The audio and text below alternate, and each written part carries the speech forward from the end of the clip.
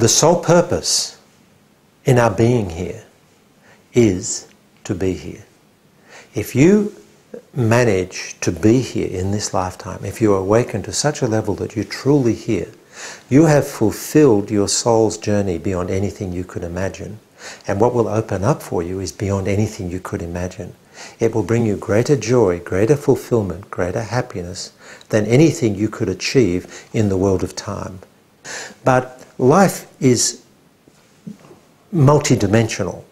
And so when we fulfill this deepest dimension of us, we are, truly come home, we awaken into oneness, we realize the presence of God in everything, we re- recognize heaven on earth, which is where we are.